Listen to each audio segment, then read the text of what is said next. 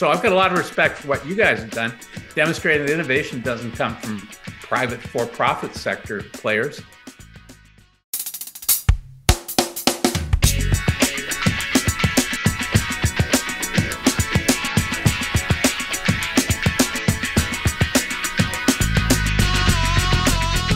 Welcome to EyeCan, a podcast about ophthalmology through a uniquely Canadian lens with Dr. Setareh Ziai and myself, Dr. Guillermo Rocha. This season, we have two new co hosts joining us Dr. Mona Dagher and Dr. Hady Saheb. They'll be hosting upcoming episodes throughout the season. Season three of the EyeCan podcast is brought to you by Bayer Ophthalmology. Thank you for your support.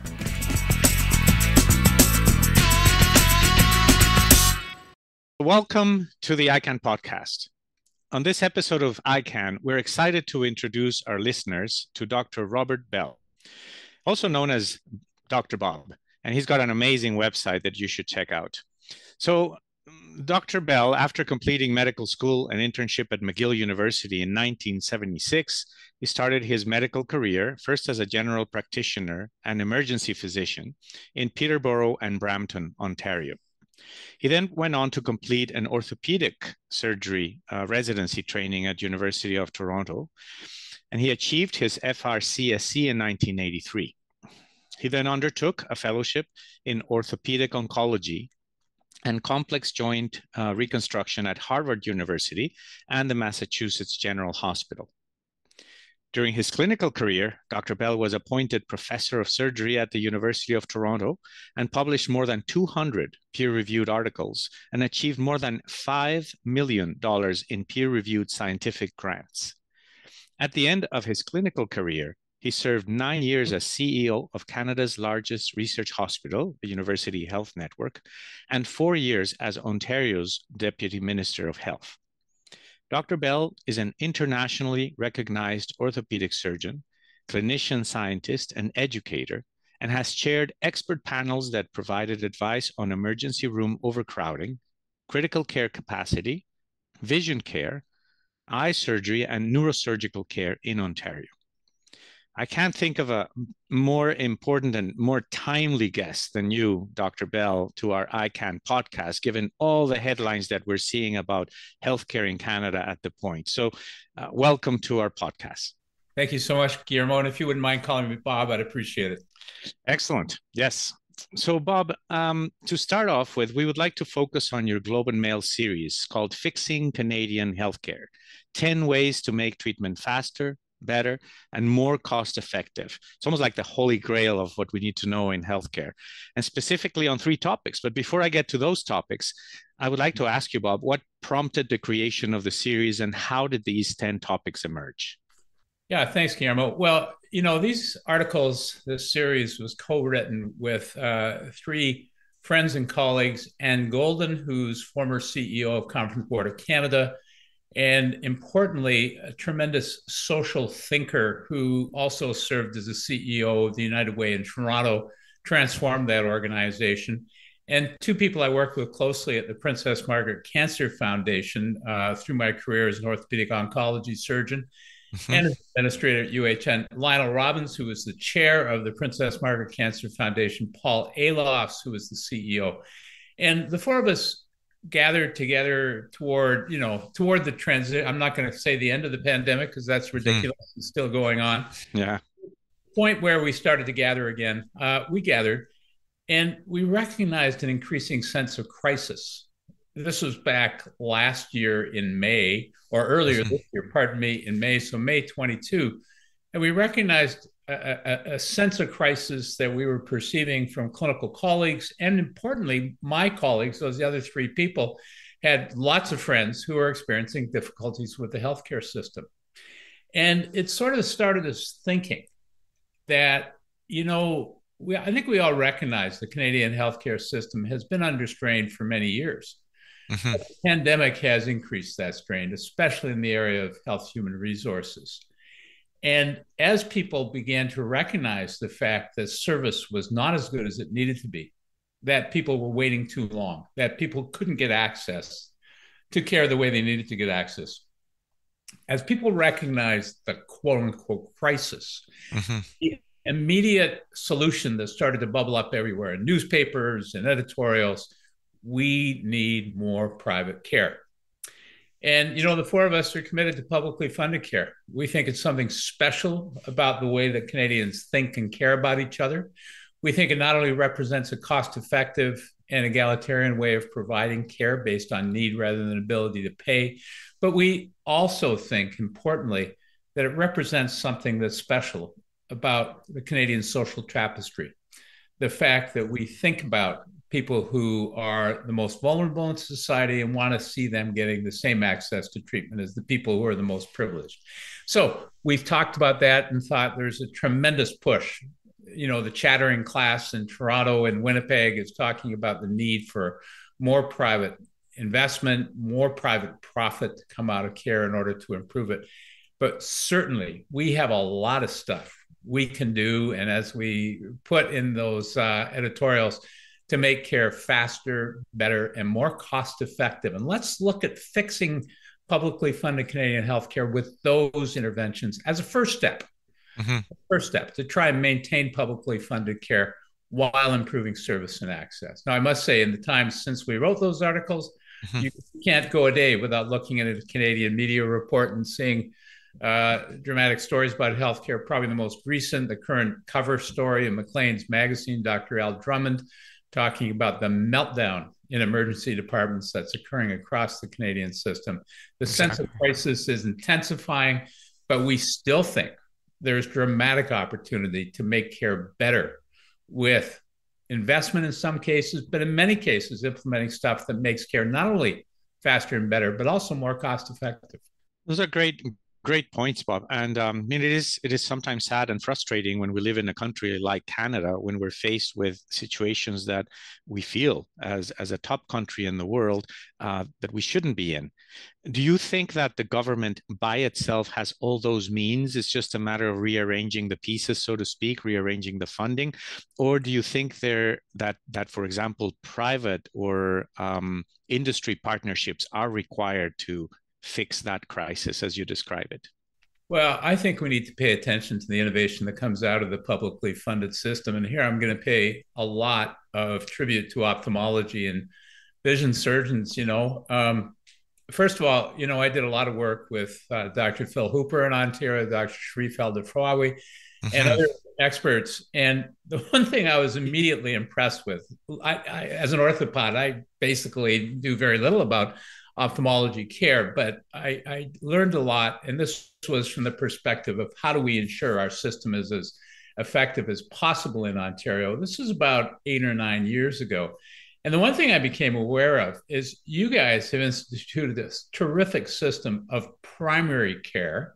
Mm-hmm. Your relationship with optometrists is spectacular the you know the back and forth transition of care of patients who need surgery to ophthalmologists uh, referred by optometrists. The other thing I noticed was that very very few people who needed urgent crisis care, retinal surgery, for example, uh, failed to get that. That you know retinal surgeons organize themselves in regional call schedules. Certainly in the province of Ontario, I can't speak to the rest of the mm-hmm. country. Uh, so that was impressive to me. You know, when people with neurosurgical emergencies in Ontario were being sent to Buffalo for care because our neurosurgery system was so broken. Now, exactly. I'm happy to say that's dramatically changed. It's much better now. You guys never fell into that that crisis. Certainly in this province, you always ensured that people who needed care got access to care. The final thing I'd say, very impressive, is the way that you have moved your treatment to highly effective ambulatory surgery centers. Mm-hmm. You know, starting off with cataract care, moving on to more complex. You know, in my experience in Ontario with the Kensington Eye Center, uh, you know, so impressive in the way that was accomplished. So I've got a lot of respect for what you guys have done, demonstrating that innovation doesn't come from private for-profit sector players uh, it can come from publicly funded providers who care deeply about the services they're providing to people who need them. Excellent. Thank you very much for that. And, and that actually kind of leads a little bit into some of the three topics that you mentioned in your series, which you've mentioned primary care. So that's one. You've also mentioned community surgery centers or, or, or non hospital uh, surgical centers. And also, you mentioned about e referrals. So would you mind sort of taking us down those three? You've mentioned a bit of primary care, the collaboration community centers, but what, what do you mean by e-referrals and how does that impact or how does that help us uh, manage the crisis um, that we're, that we're uh, experiencing at this point?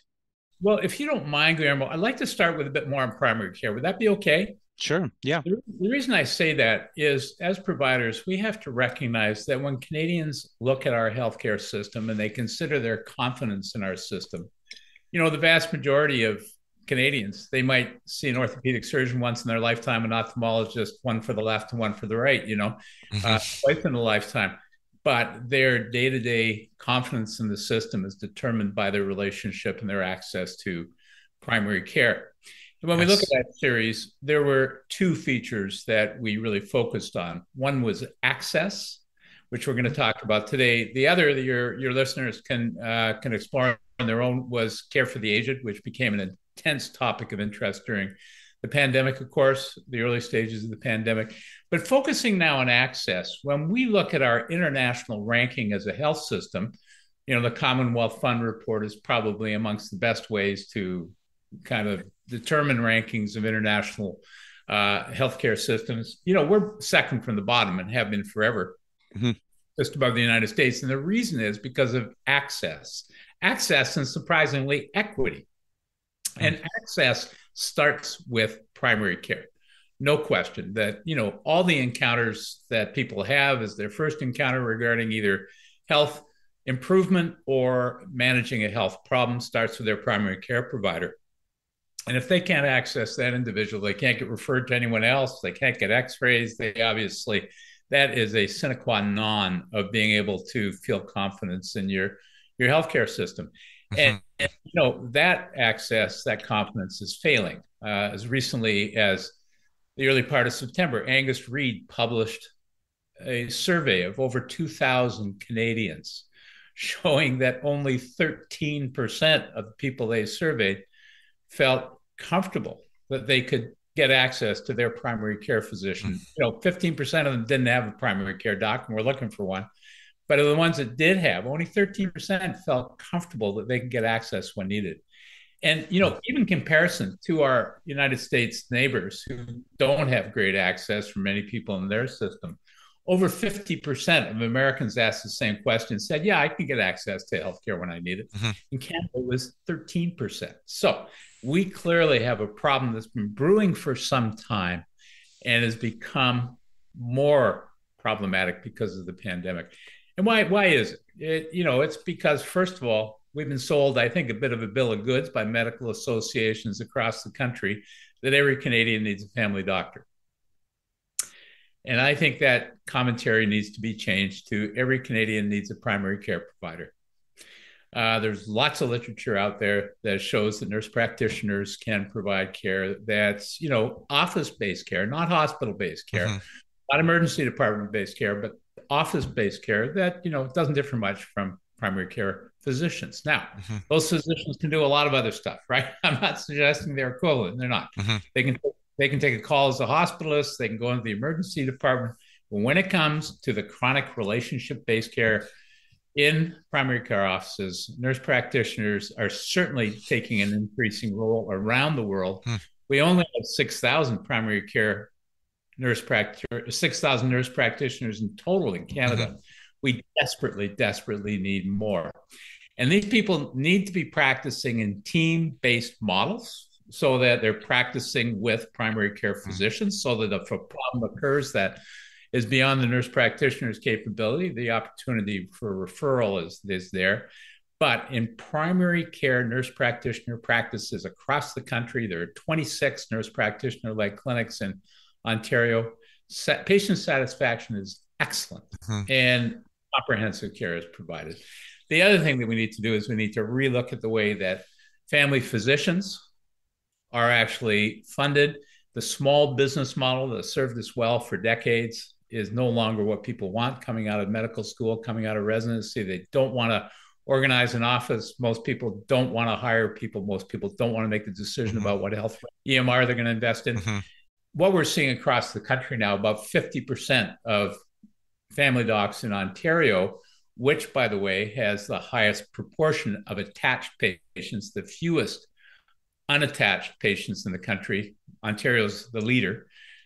About 50% of our docs practice in a capitated model where they don't do fee for service transactional care they're they're capitated they get a capitated payment for accepting people into the roster mm-hmm. that has just been moved into place in british columbia in responding to their crisis in access to primary care along with a commitment to more nurse practitioners so i think if we look at the future of primary care in Canada, we're going to see a sea change away from the small business model toward a model where physicians are paid in a different way to do what they want to do, which is practice medicine, not manage a practice. Mm-hmm. And we're going to see much more team-based care with other mm-hmm. providers, with you know, mental health workers, with physiotherapists, with physicians assistants, but especially nurse practitioners, expanding the roster. Mm-hmm people uh, who can do primary care. So that's my first pick. Let me. I'm, I'm just going to ask you because there's so much, so much in what you just said, uh, Bob, and so interesting. I mean, one of the things I think we are seeing is, I think also us or as physicians, we need to kind of be educated on how the roles of these nurse practitioners are are essential right because sometimes we may have our own biases or barriers to towards accepting referrals or questioning uh, if the referral is appropriate and the second question is once you start forming these, these groups of practitioners, as you mentioned, primary care physicians with capitated models, nurse practitioners, physiotherapists, who organizes that? Do you still attribute that to the government or do you think there's some kind of entrepreneurship there? Yeah, so that's an excellent question, Guillermo. And uh, I think there are lots of different models that are forming across the country. If you look at the role of, uh, for example, Shoppers Drug Mart mm-hmm. across the country is uh, organizing primary care practices adjacent to some pharmacists mm. pharmacies. And why is that? Well, the answer is obvious. The two, two things that determine the foot traffic in a pharmacy is number one is their parking, parking being an essential aspect of providing healthcare, as you know. Mm-hmm. And the mm-hmm. second is is there a primary care physician writing physician or writing prescriptions that get transmitted that you know not only increase pharmacy sales but increase front of the store sales as well. So clearly, if you can get a primary care practice going adjacent to a pharmacy, you can increase sales volumes at a pharmacy. So there mm. are retail interests that are interested in doing that. And from my perspective, if you can make more profit in a pharmacy, profit making pharmacy is part of our healthcare system. I have no problem at all if they're also offering excellent primary care. Because, of mm. course, once shoppers gets into that business, once any company gets into that business, they want to ensure accountability for the primary care services provided, especially exactly. when it comes to access. So that's one model. There are other mm-hmm. models where um, you know you can have community-based boards that run primary care practices. In Ontario, the best example for that is community health centers, where you have physicians, nurses, a variety of different providers uh, who are focused on the needs of uh, vulnerable people, people experiencing homelessness, refugees, etc. Um, you can also have primary care practices associated with hospitals. Um, you're absolutely right that expanding these team-based models, you know, within the current small business framework of primary care, the way it's existed for decades, is hard and we need to think about that governance and management model in a different mm-hmm. way. We have family health teams in Ontario. About 15% of care is provided through family health teams that are team based. And they have an executive director that's responsible for organizing the office, the rentals, the hiring, et cetera. Okay. Um, and they're usually, you know, groups of 10 or more physicians with nurse practitioners, et cetera. The thing I don't like about that model is the nurse practitioners are not practicing the full scope.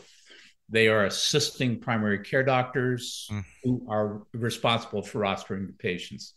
To me, the best model is one in which you've got a team where everybody has responsibility for their own roster of patients. Okay. You're absolutely right. Management and governance of those models is an essential part of what we need to think about.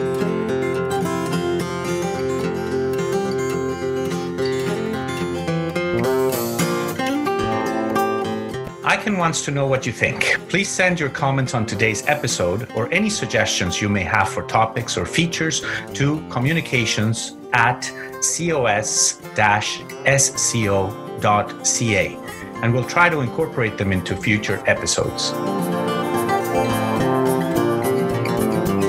Uh, I'm Phil Hooper. I'm the president of the Canadian Ophthalmological Society, and I listen to and enjoy the EyeCan podcast.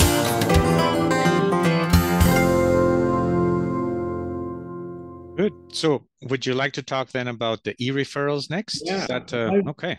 I'm I'm a little crazy when it comes to e-referrals. I'm so passionate about this. For me, when I was deputy in Ontario, we made some investments uh, to try and get e-referral kicked up, and of course, the pandemic has slowed down the implementation of so many different things that are needed. But to me, e-referral, uh, first of all, you know, faster and better. Uh, well, if you have a referral being sent to the surgeon, the specialist with the shortest wait list, you know, uh, that kind of queue management immediately drops wait times by about 20% simply by managing the the the surgical or the the wait to which this the, the specialist's wait is being uh, considered as patients are distributed through an electronic referral system. So that's one thing. You get faster care without any mm-hmm. investment in money. You get faster care. Mm-hmm. Better, you first of all, uh, the patient gets information about when the referral is going. You know how many times have patients phoned your office, Guillermo, and said, Right. Fax from the family doctor arrive. I need to be seen in your office. Can you make sure the fax hasn't been lost? You know what I mean? That's right. I mean, it's just a common daily occurrence. I'm sure all of our uh, assistants experience. And in e-referral, there's an email sent to the patient. You know, um, Dr. Smith has uh, referred the patient to Dr. Rocha. His office has received it. Dr. Rocha says your wait time is probably going to be about two and a half months or whatever it's going to be. Mm-hmm. Um, so the patient's informed. So that's better care to begin with.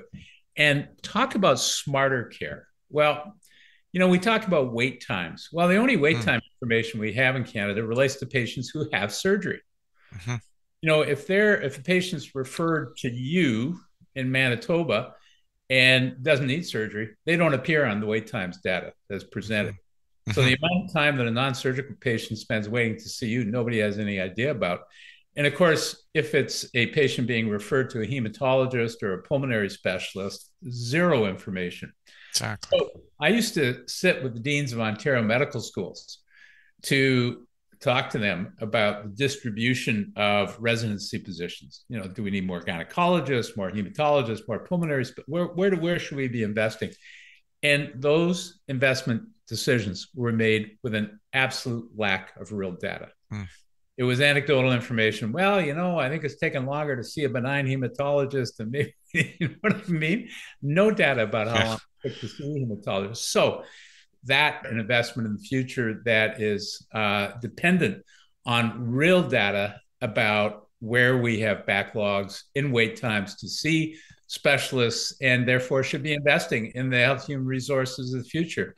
Mm-hmm. The um, you know the the the other thing that's significant is using e-referral. We can also use e-consult, and probably not. Mom, maybe some ophthalmologists receive e-consults. Probably not because you need to see the patient to provide an opinion in most cases. Mm-hmm. But many specialists, diabetes docs, cardiologists, perhaps, you know, primary care docs can send them patient's history. Here's some investigations, and here's my question for you and in Ontario, certainly the e-consult will respond within 48 hours in most cases. I think the average time of response is 48 hours. Primary care docs using this love it. The patient doesn't have to travel.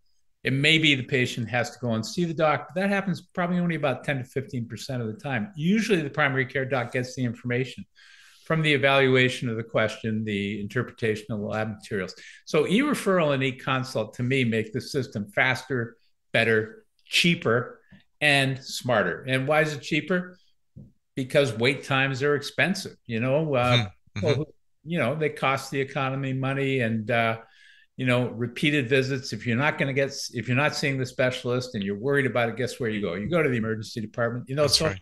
anything we can do to make specialty referrals faster and better for no investment, minimal investment makes sense. And the only thing that stops this from happening is simply resistance to change.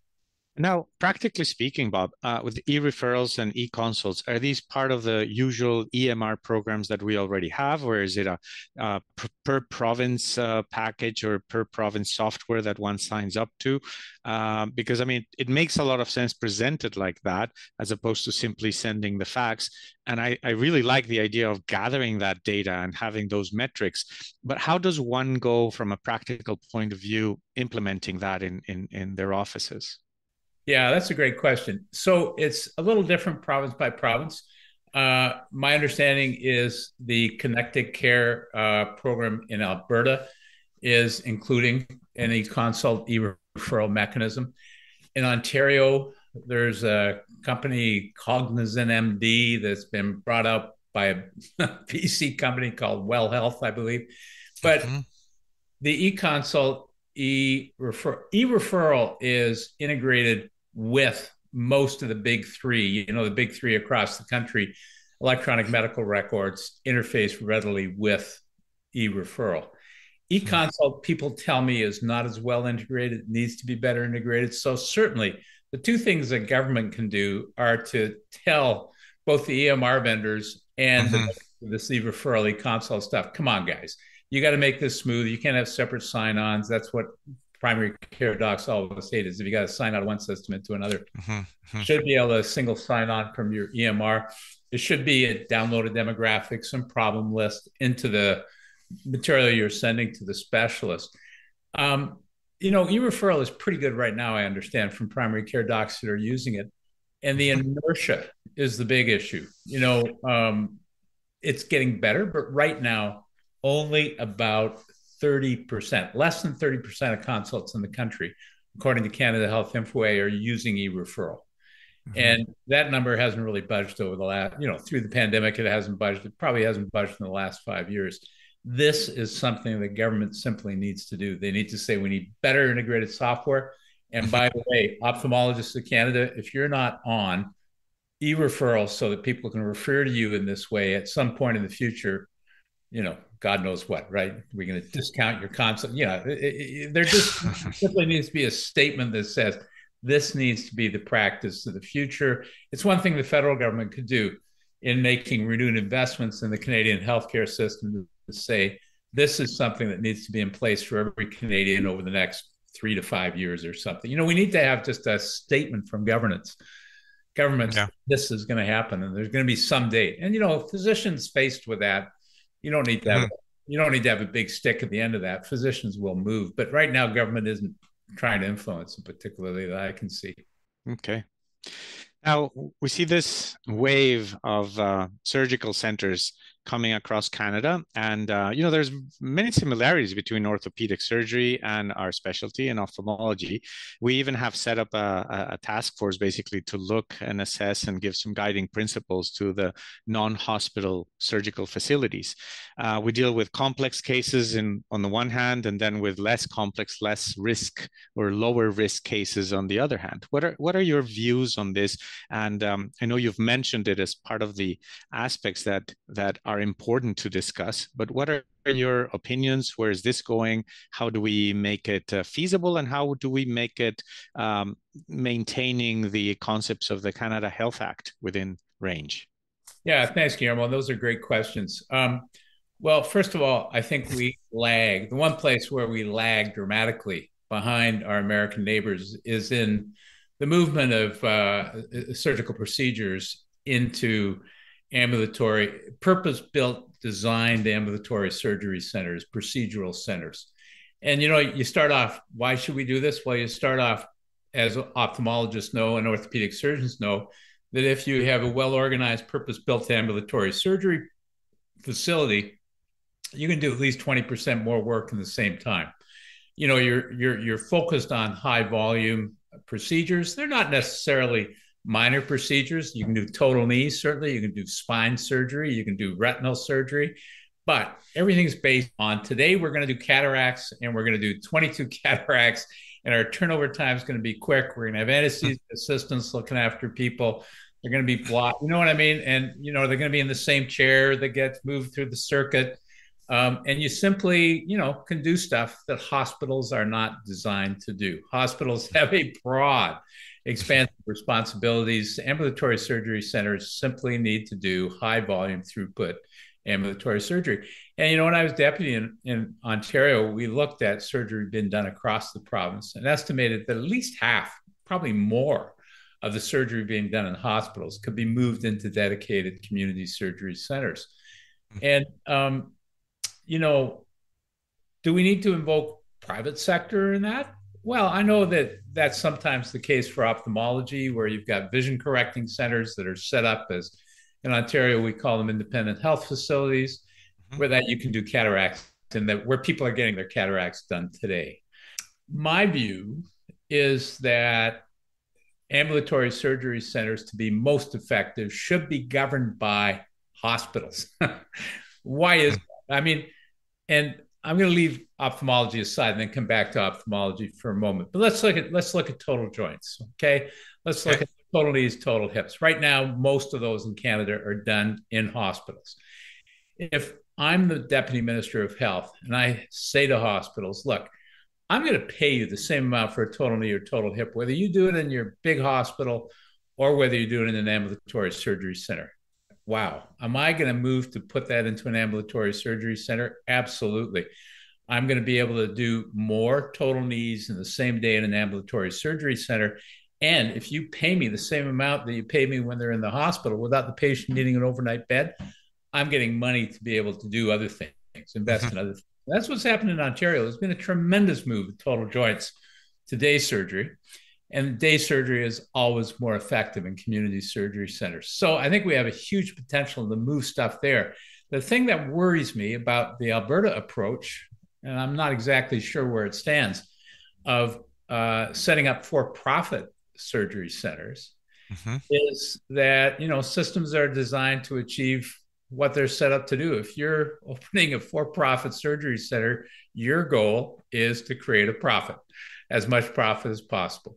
So are you going to, you know, maybe a bit of a crude, crude term, but are you going to cream the milk to ensure that the patients that are going to be the most cost effective, the highest profit, that you know that scope of the knee is going to be done in 40 minutes and we can get on to the next case and we do 12 scopes a day. The thing that worries me most about for profit ambulatory surgery is the appropriateness of care and the case selection you know, if you're talking to a hospital quality committee about the surgery that's being done, you've got, you know, appropriateness criteria. A good example in orthopedics is our arthroscopy of the knee for degenerative joint disease. There is mm-hmm. tons of literature, randomized studies that demonstrate it doesn't really help. It doesn't mm. make people that much better. It doesn't delay the need for a total knee, but you can say to someone in your office, look, we're going to try and move you along for another couple of years, avoid a total knee. We're going to do a little scope and we're going to clean up your knee. Mm. Right? Let me tell you, if we've got for profit surgery centers, they're going to do a lot of degenerative disease knee arthroscopy, you know, because it's quick, yeah. it's easy. Um, now, ophthalmology is an interesting issue because you guys have these, uh, you know, these opportunities to upsell people, right? I mean, the the classic. I was talking to someone tonight before we started this, who uh, you know was telling me about his great experience in a. Uh, he got his cataract done in a private center, a vision correction center in Toronto, where of course the surgeon gets paid for doing the cataract. They bill our provincial health system. Mm-hmm. The facility gets nothing at all. Mm-hmm. Ontario hospitals typically get about 450 to 500 bucks for doing a cataract. Um, the surgery center gets zero. So why are they doing it? And of course, the reason is they upsell a bunch of stuff, right? They upsell advice regarding nutrition and you know uh, what you should be doing in the way of vitamins, and of course they upsell lenses. Now, you know, publicly funded facilities also upsell lenses. Some lenses are better than others. I understand. I don't understand it well, but, mm-hmm. but I can guarantee you the cost of those lenses in for-profit centers are going to be higher than they would be in publicly funded centers. Mm-hmm. And if we think about the principle of Canadian public funded healthcare, that care should be somewhat equal and treat people who have different income levels in virtually the same way. it just always wrinkles me when you know people are being asked to pay out of pocket for something they could get at a different price in a publicly funded system. So, mm-hmm. uh, and you know, the biggest reason I say this is uh, the concept that oh, we need for-profit centers because they'll be innovative. Well, you know, the Kensington Eye Center in Toronto is innovative in the way it does anesthesia. It's innovative in a variety of things the way it teaches, the way it does research, the way it, you know, I, I, I don't know the area well enough, but I do know it's an innovative place. Hmm. And it's publicly funded. You know, hmm. it uh, is not for profit. It runs according to a publicly governed board. And, uh, you know, you don't need for, pro- you need, what for profit innovates is how to make more profit. That's my bottom line. Okay. And sticking with the uh, outside of hospital surgical facilities, and, and I know we have several educational programs across the country where a lot of the residents are trained in many of these centers. Do you see any impact across other specialties when we're doing more and more procedures in ambulatory centers? Or how do you kind of um, how do you uh, marry or reconcile, I guess, the educational yeah. portion with the more efficient throughput of, of patients that require uh, medically needed procedures? Yeah, you know, I don't think that education needs to be slower. I think, you know, obviously there is something around the speed at which a learner does stuff. Um, but I think, you know, we can accept a slightly longer operating time. The biggest I think we all know the biggest, uh, you know, uh, factor that determines length of time is is the throughput time, right? It's the turnover, it's the anesthesia time, it's the transit time, the transport time. Uh, mm-hmm. Surgery is probably thirty or forty percent of the variability factor in that. So mm-hmm. I think mm-hmm. design a. I know the Kensington is a uh, is a teaching center. Uh, Ottawa has the Riverside Hospital. Um, Hamilton has uh, Stoney Creek, and my good friend Phil Hooper, you know, in the Ivey Center, uh, another ambulatory surgery center in London, mm-hmm. Ontario, which is a teaching center. You know, uh, the good thing is, I think the teaching becomes systematized. Mm-hmm. In order to achieve high throughput, you think through the kind of industrial engineering aspect of how you're going to do every case. So, this case, we need to teach the the, the learner how to phaco or we need mm-hmm. to, I don't know what you know exactly how to put in the stent I don't know and mm-hmm. Uh, mm-hmm. for glaucoma whatever it is and um, you know it may lengthen the operation by seven minutes that's okay mm-hmm. expected so exactly. I think teaching can absolutely build into the ambulatory surgery environment it may make things a bit longer but the overall improvement in throughput is so dramatic excellent well, we've covered so many, so many topics, and I, would like to direct our listeners to your uh, website, uh, drbobbell.com, which has a lot, a lot of information. But one thing that caught my attention, Bob, is um, your comparison and your discussion on the different uh, systems across the world in industrialized nations. And I have a question. I don't want to put you on the spot, because I know there's no perfect system probably, but uh, which system should we be striving for? Like which which could be a model system for Canada as we move forward? Yeah, well, I, you know, I mean, uh, people make disparaging comments about the Canadian system being similar to North Korea and Cuba and being the only system in the world that doesn't have a parallel private system. Well, we do have a big private system. You know, if we look at our pharmacy systems, they are fi- private for profit. If we look at the way that most primary care is organized in the country, it's you know a small business for profit model. Um, hmm. physiotherapy in most places hmm. is hmm. paid for either by private health insurance or by or by uh, out of pocket payment. Dental care in this country. So if we compare ourselves to most of Western Europe, we have more for profit care hmm. than those places have. You know. Mm-hmm it's just we've constrained ourselves to hospital and doctor based care under the Canada Health Act mm. being only publicly funded. Now, we know there are lots of wrinkles in that in Quebec and in a variety of places, the Brian Day experience, the Cambie Clinic. We know that there's stuff happening on, on the margins. My view is we should struggle to increase the equity of our system. We should include pharmacare. We should include at least some aspect of dental care in our hmm. publicly funded system. Pharmacare, we'd actually save money going to a publicly funded system. The pharma companies hate it when I say this, but it's true. if we actually, where they make their profit is not in the provincial drug plans, it's in the private drug plans that don't manage costs as well as the publicly funded plans do. So to me, our system is unique. I agree. But it really, to me, Guillermo, it defines what's best about Canadians. You know, mm-hmm. we don't want to see people making profit out of institutionalized care for uh, for sick, vulnerable people. Mm-hmm. We want people to access care based on need rather than the ability to pay. And I think we should struggle to maintain that system and to avoid the various erosions to that. I know there's going to be erosions of it, no question. I mean, the example of paying more for a lens to get better access to care in a private Herzig mm-hmm. center and you know, or whatever the centers are called in Toronto. I get it. There's going to be that happening on the margin. It's not like people should be thrown in jail. Mm-hmm. I think we should struggle to maintain public funding as the predominant way we provide care and to say, no, we don't need a parallel. The one I've seen in Australia and New Zealand, which are frequently pointed out to us, I've seen as orthopedic surgeon going there, you know, 50% of people in Australia have private health insurance and they get treated for some things in private hospitals, total joints being a great example. Mm-hmm. You know, the difference between the public and private wait times in Australia are like a year long difference, right? They're very, very long differences. Hmm. And, you know, Australians are paying a lot for their private health insurance.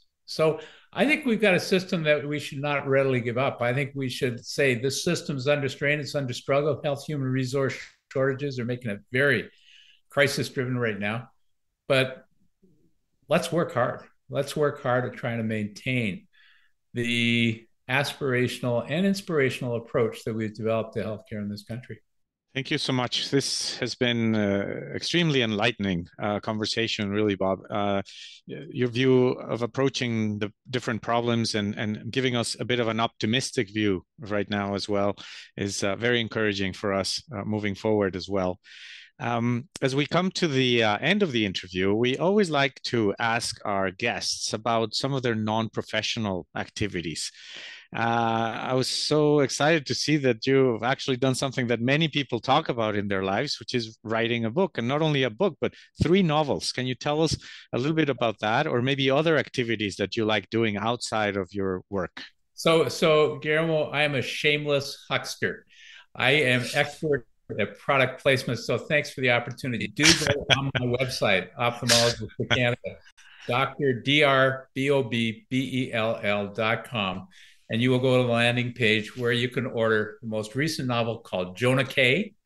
you can order the second novel, New Dark Maple Ridge, or the first novel, which for an orthopod had an unimaginative name, was called Hip. Uh, three novels. The uh, we've uh, taken the profits from each of these, all the royalties derived from these, and have donated them to various uh, activities in the UHN University Health Network Foundation. So far, we've donated $31,000 over the space of three books. Um, and I'm most proud of Jonah K, the one that's out right now. It deals with the topic of intergenerational trauma resulting from residential schools in Indigenous communities in Canada. Something that, like many Canadians, is uh, something we're all on a learning curve about. Uh, when I became deputy minister, I didn't know much about intergenerational trauma. I learned a lot from Indigenous people who were generous in teaching me. And this book is a again an optimistic approach to thinking about how we need to reconcile as a nation, how we need to recognize the impact of colonialism on indigenous peoples in this country. Uh, and I think some fun characters and a good story. So I'd encourage your uh, listeners to go on drbobbell.com and order as many copies for your holiday as you can. Awesome. Well, thank you very much, Dr. Bob Bell, for joining us. We look forward to bringing you more episodes of the EyeCan podcast. EyeCan wants to know what you think. Please send your comments on today's episode or any suggestions you may have for topics or features to communications at cos-sco.ca and we'll try to incorporate them into future episodes. Season three of the EyeCan podcast is brought to you by Bayer Ophthalmology. Thank you for your support.